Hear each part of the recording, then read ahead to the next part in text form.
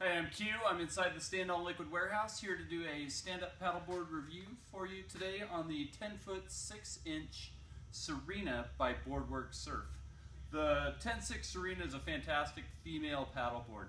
Not only is it short at 10 and a half feet long, which makes it very easy to get to and from the water on and off the car, it also performs very well on the water. Some of the attributes that this board have that make it a great female paddleboard are got a leash tie down point so you have the ability to tether yourself to the board. Two, it has a really nice deep deck pad so your ability to step back and turn the board or move around on the board to wherever you feel comfortable while you're paddling, it offers that. One thing that I really like out of this board is the lifts up handle.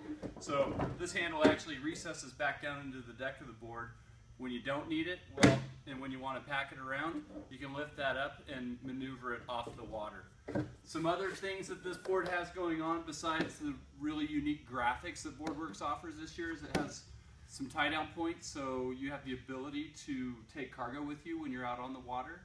It has a self-venting plug that allows the board to regulate pressure amongst itself and a really nice displacement style nose. So this board's gonna it's gonna pierce the water when you're going upstream into chop. It's gonna perform very well for you.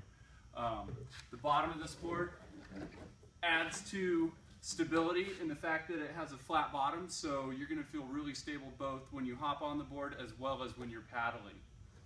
So, this has been a stand-up paddleboard review on the 10 foot 6 inch by 29 inch BoardWorks Sirena. Thanks for joining me.